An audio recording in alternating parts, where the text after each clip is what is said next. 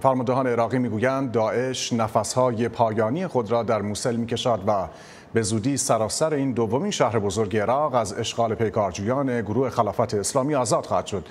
در همین حال پیش بینی شده است در جریان این عملیات آزادسازی ده هزار غیر نظامی دیگر آواره شوند. برای بررسی بیشتر علی جوادمردی از عراق با ماست. علی چه جزئیات بیشتری از عملیات آزادی آخرین منطقه تحت کنترل داعش در عراق داری و این عملیات احتمالا چقدر طول خواهد کشید؟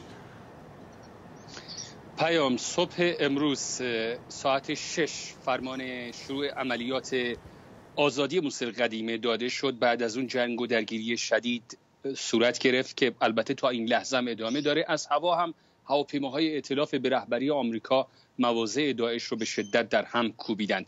جنگ و درگیری کماکان ادامه داره به گفته ژنرال عبدالغنی اسدی فرمانده نیروی ضد ترور عراق در چند روز آینده یعنی پیش از پایان ماه رمضان قرار هست که موسل آزاد بشه ولی کمی بعید به نظر می‌رسه. برای اینکه در واقع نیروهای عراقی نه تنها خانه به خانه بلکه میشه گفت که اتاق به اتاق رو باید پاکسازی کنن. متر به متر دارن جلو میرن و کارشون بسیار سخت هست. پیکارجویان داعش ترفندهای زیادی به کار گرفتن که دیگه البته برای نیروهای عراقی ناآشنا نیست. اونها گاهی عقب نشینی می‌کنن 200 300 متر خودشون رو در سه چند نفر انتحاری در سه چهار تا خونه مسکونی مخفی می‌کنن. بعد که نیروهای عراقی اومدن خودشون رو به روی اونها منفجر می‌کنن تلفات می‌گیرن و اونها مجبور هستن نیروهای عراقی هم عقب نشینی می‌کنن ولی این بار اینطوری نیست. این بار متر به متر دارن جلو میرن و پاکسازی می‌کنن. به همین دلیل کمی بعید به نظر می‌رسه که تا چند روز آینده یعنی یک هفته مونده به رمزون موسل به طور کامل آزاد بشه. ولی در هر صورت این مسئله ای هست که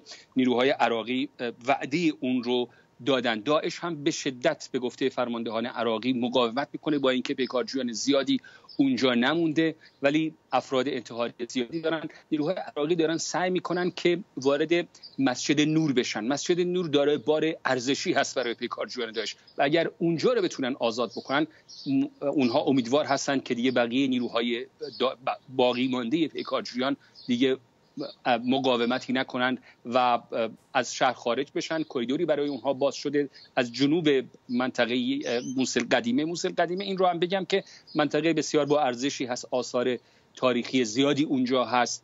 از جمله مناره حدبا که البته 70 درصد اونها تا حالا از بین رفته به طور کامل. حالا علی به نظر تو چه تعداد غیر نظامی در منطقه قدیمی موسل باقی مونده و چه طرحی اساسا برای نجات اونها وجود داره؟ امروز پیام دو نفر اظهار نظر کردن در این زمینه. یکیش برونو گدو نماینده کمیساریای عالی پناهندگی سازمان ملل متحد که گفته بیش از 100 هزار نفر در اون منطقه موسل قدیمه باقی موندن. داعش از اونها به عنوان سپر انسانی استفاده می‌کنه و تعدادی هم اهل اون منطقه نیستن.